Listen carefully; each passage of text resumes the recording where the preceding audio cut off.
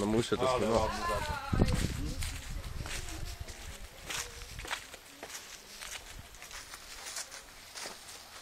Środek ciężkości, wszystko pomyślane pięknie. Mamy oznakowanie firmowe pojazdu. Widzimy czyste aluminium, kuta, chłodnica, hak przystosowany do ciężkich warunków w terenie, dzielony zderzak z przodu, zawsze można go wymienić jeżeli się uszkodzi. Widzimy obciążenie specjalne tu, żeby nie podrywało go, ponieważ mocy ma dużo, to żeby na koła go nie stawiało. Klakson model 69, bardzo dobry model, chwalony przez użytkowników. Imitacje e, świateł też dosyć gustowne. E, Patrzymy na koła. Dociążone koła specjalnie, tarcze hamulcowe jak widzimy wentylowane są na zewnątrz umieszczone.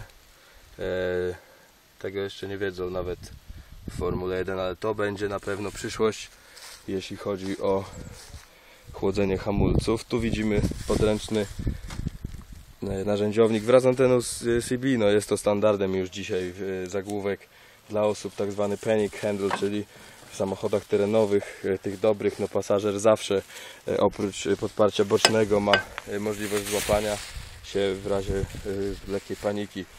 Tu widzimy surowość i odciążenie całego samochodu. Akumulator, wszystko klarownie popodłączane. Nie mam mowy na żadne błędy. Nic tu nie wisi bezcelowo. Jesienny imaż zrobiony, ładny dość. Wiadomo, samochód przerabiany z marki Fiat.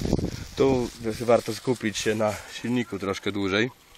Mamy piękny e, filtr styskowy powietrza. Tu połączony z wydechem zresztą. Najnowszy szczyt techniki.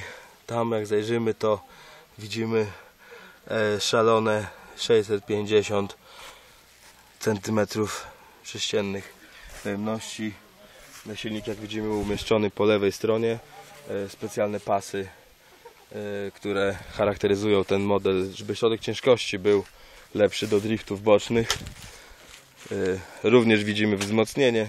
Też bardzo użyteczna rzecz, takie wzmocnienie. To przy przechyłach całkowicie stabilizuje pojazd. I ogólnie sprawia to świetne wrażenie. Hamulec ręczny w bardzo przystępnym miejscu, ułatwiającym zaciąganie go stopą. Proszę, e, trwa dopracowywania linkę, wywieczniki. E, W czasie wyścigów Le Mans to kierowcy nie muszą załatwiać potrzeb fizjologicznych.